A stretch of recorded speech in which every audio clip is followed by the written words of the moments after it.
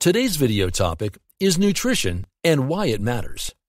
Nutrition is the study of how food and drink affect our bodies. It is a science that looks at how different nutrients in our food and drink are used by our cells and organs, and how this affects our health. Why nutrition matters, and how it affects us. There are many different nutrients that we need for our bodies to function properly. These include carbohydrates, fats, proteins, vitamins, and minerals. We need to eat a variety of foods to get all these nutrients. When we eat food, our bodies break down the nutrients in the food so that we can absorb them. The nutrients in food are in a form that our bodies can use, but they need to be in the right proportion in order for us to use them effectively. For example, we need to eat more carbohydrates than we do proteins in order to have enough energy for our cells to function properly. If we eat too many carbohydrates, our bodies will store them as fat and we will gain weight. If we eat too few carbohydrates, our cells will not have enough energy to function properly and we may feel tired and sluggish. Proteins are essential for our bodies to build and repair tissues. They are also necessary for the production of enzymes and hormones. If we don't get enough protein in our diets, our bodies will break down muscle tissue to get the protein they need. This can lead to weakness and fatigue. Fats are important for many different functions in our bodies. They help to insulate our organs and keep us warm. They also provide energy and help to absorb fat soluble vitamins. If we don't get enough fats in our diets, we may have dry skin, hair, and nails. We may also have trouble absorbing nutrients from our food. Vitamins are essential for our bodies to function properly.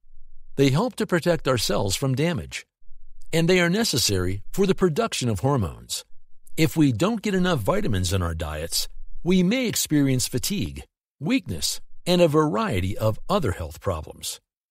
Minerals are essential for our bodies to function properly. They help to regulate our fluid levels, and they are necessary for the production of enzymes. If we don't get enough minerals in our diets, we may experience a variety of health problems, including bone loss, anemia, and muscle cramps. So, nutrition is important for many reasons. It can affect our physical health by helping us to maintain a healthy weight, have enough energy for our daily activities, and avoid diseases. Good nutrition is especially important for growing children and pregnant women. So, we all know that eating right and getting the proper nutrition is important for our physical health.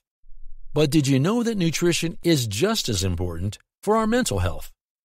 Good nutrition is essential for good mental health. It helps the brain to function properly and can impact our mood and energy levels. When we are not getting the nutrients we need, it can lead to problems such as anxiety, depression, and even memory loss.